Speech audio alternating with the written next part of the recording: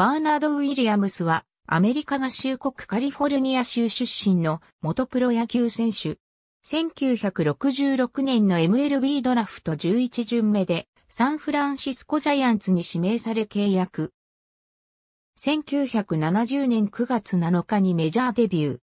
1973年はメジャーでの出場はなく、1974年にサンディエゴパドレスに移籍し、パドレスでメジャー再昇格を果たす。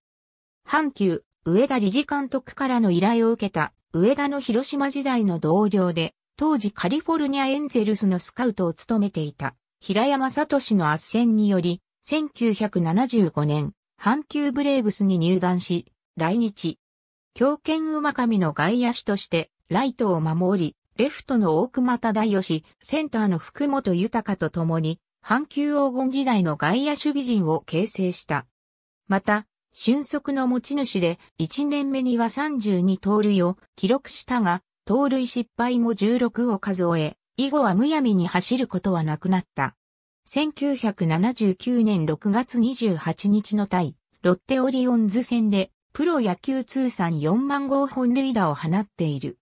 1980年を最後に退団し、帰国。